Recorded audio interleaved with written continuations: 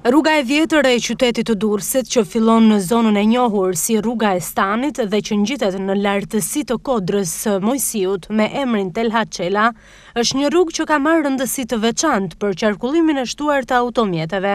Tashmë ajo shërben edhe si bypass që lehtëson aksin kryesor të rrugës Aleksandër Moisiu nga mbingarkesa, sidomos në stinën e verës apo edhe në periudhë festash ku trafiku rëndohet si pasojë e ardhjes së emigrantëve të shumtë apo edhe pushuesve.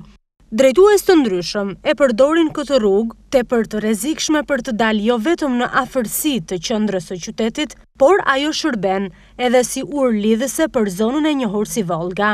Kjo rrugë për të cilën asnjëherë nuk është investuar, ka vënë në rrezikshmëri dhjetra drejtues mjetesh si pasojë e mungesës së barrierave mbrojtëse, si edhe hapësirës së pamjaftueshme që ajo ofron për shkëmbimin e dy automjeteve.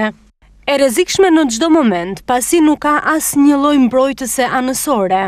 Në periudhë ngricash, shumë automjete janë gjendur në vështirësi Edhe si pasojë e pjerrësisë së theksuar që kjo rrugë ka. Rreziku që i kanoset jo vetëm drejtuesve të mjeteve por edhe këmbësorëve shtohet më shumë përgjatë natës, pasi ndriçimi nuk është i mjaftueshëm. E ndërkohë që banorët prej kohësh apelojnë të merren masa në mënyrë të menjëhershme për vendosjen e barrierave mbrojtëse, pasi kjo rrugë është e rrezikshme për këdo. Normale që është e rrezikshme, për shkak të mos të parmakëve që nuk i kanë marrë ose bordur çfarë mund të quash ti ato, sepse këtu kalojnë makinat shumë me shpejtësi të madhe dhe meqenëse ka dhe kështu pengesa rruga, mund të biesh edhe poshtë. Ka rrezikshmëri.